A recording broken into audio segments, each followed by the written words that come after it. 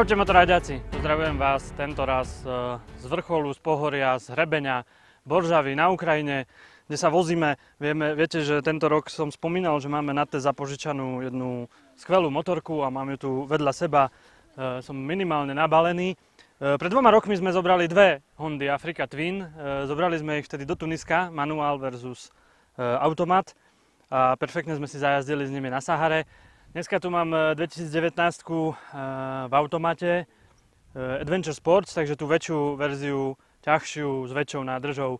A keďže sme to chceli tiež s niečím porovnať, tak sme zohnali k tomu jednu z prvých Africa Twin vo verzii 750 kubíkov. Je to motorka, ktorá má dnes skoro 30 rokov.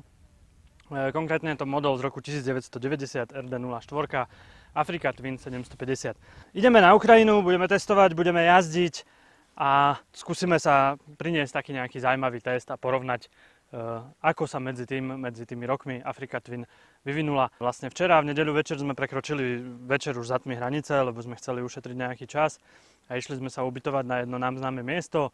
Začali sme tak, ako práve Adventure má a to defektom na zadnom kolese e, tej staršej Afriky, takže potom ferry na nej išiel s defektom možno 20-30 km lebo sme už boli blízko toho bivaku a bola už skoro polnoc. A ráno, dnešný deň začal tak, ako sa na adventure turistiku patrí.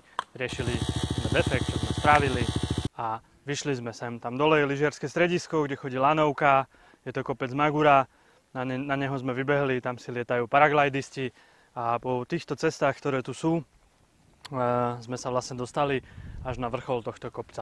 Toľko teda odo mňa na e, tento test si uzavrieme niekde ďalej, ozvem sa ďalší deň a porozprávame si niečo aj o motorkách. Tie motorky si medzi sebou budeme s Ferom aj striedať.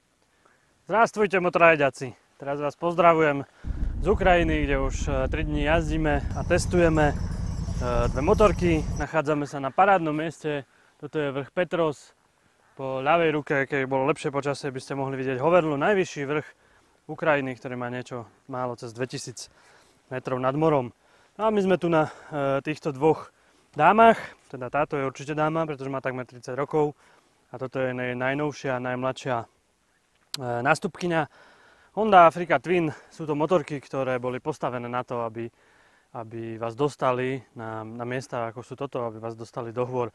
My sme v Národnom parku na Ukrajine, ale jazdenie je tu možné, je tu legálne.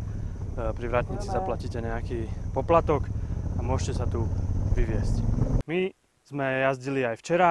Včera sme si prešli tiež parádnu trasu z Dubového na vrch Apecka a vyšli sme aj hore potom na vrch a tam sme sa vozili po poloninách. A bol to tiež e, perfektný zážitok a tu uvidíte na niektorých e, záberoch, ktoré odtiaľ máme. Včera som o dosť viac jazdil aj na tej starej Afrike. S Ferom sme sa striedali, e, bol ochotný a mi ju požičal, takže mám nejaké tie skúsenosti a môžeme si skúsiť niečo povedať o týchto motorkách, v čom si sú podobné a ako za tých 30 rokov sa niekam posunuli. To, na čo sedím, je motorka, e, ktorá bola na začiatku celého príbehu Africa Twin. Je to ročník 1990, čiže je to jeden úplne z prvých modelov, ktorý prišiel do sériovej produkcie. E, všetci dobre vieme, ako tá motorka vlastne vznikla, keď sa Honda rozhodla ísť na Dakar a postavila Africa Twin najprv teda závodnú motorku dvojvalcovú a vlastne potom priniesla z nej aj sériovú verziu pre ľudí a bol to vtedy e, veľký boom. E, je to aj motorka, ktorá pomohla rozbehnúť celý e, ten segment tých cestovných endur a ktorá rovnako posadila mnoho ľudí e, do sedla e, s bagážou a vydali sa na nejakú cestu aj okolo sveta. Na tú dobu pomerne vynikajúce parametre. E, začnem motorom, ktorý má 58 koní a 66 Nm, takže také vyrovnané údaje. Je to V, e, dvojválec, e, trojventil, jednovačka. Tá jednovačka, ktorú Honda používa až do dnešných rokov ešte aj v motokrosových motorkách.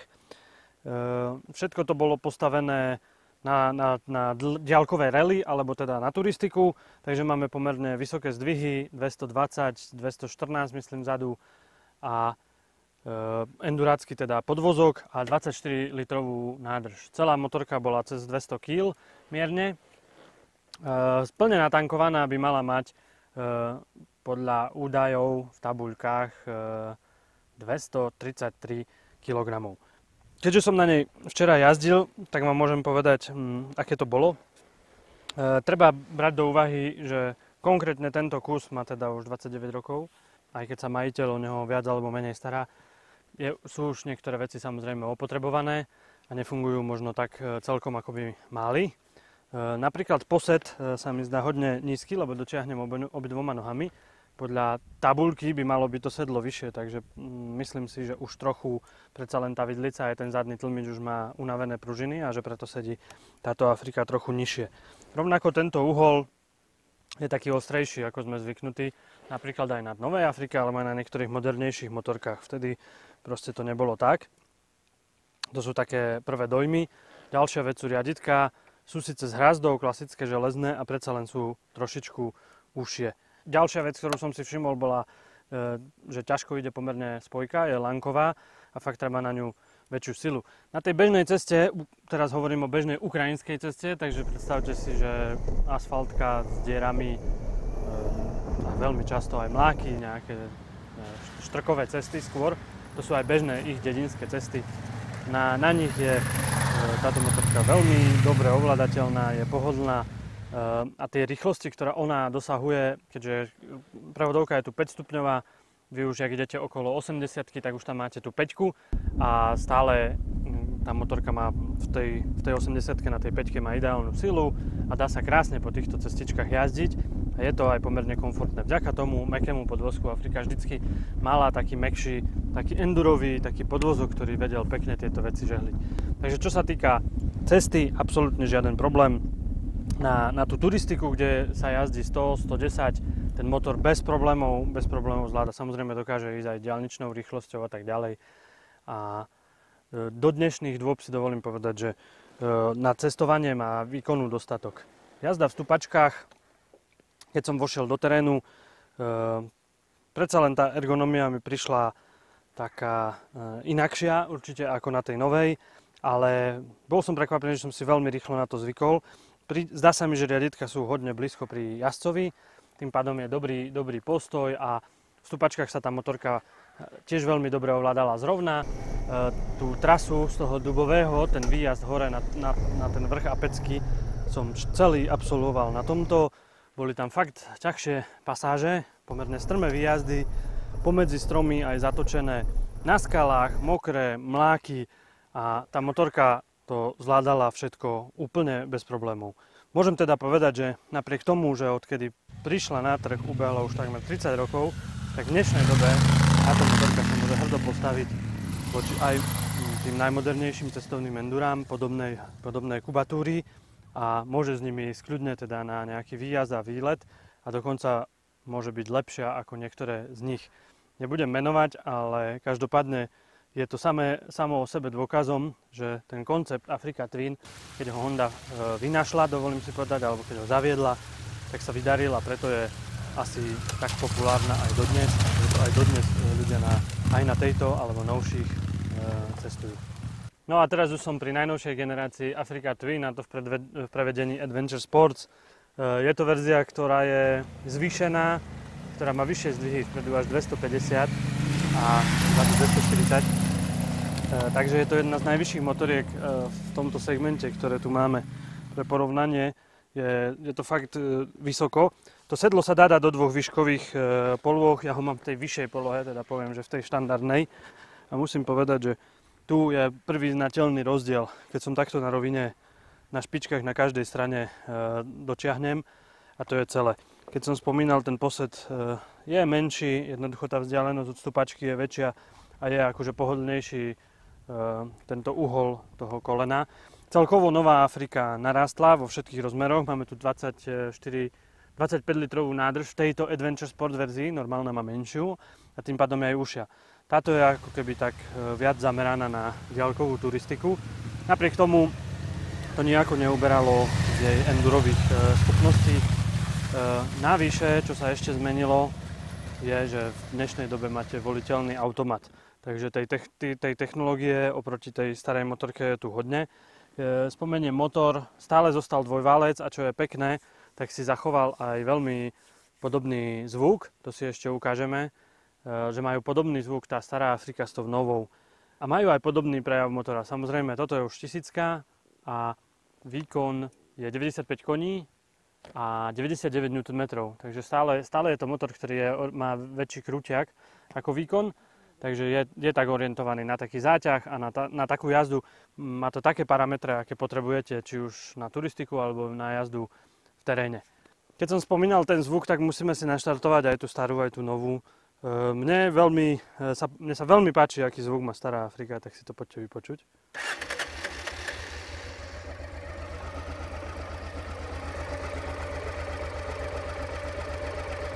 Toto, čo počujeme, je zvuk samotného motora. Výfuk viac menej ani nie je počuť.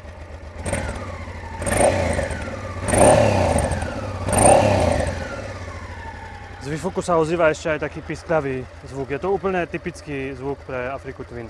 Prejdeme teraz k tej novej. E,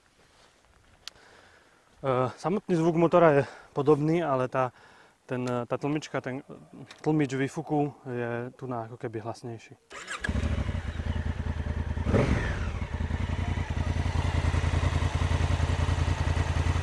Rovnako veľmi pekný, pravidelný tichý chod e, motora.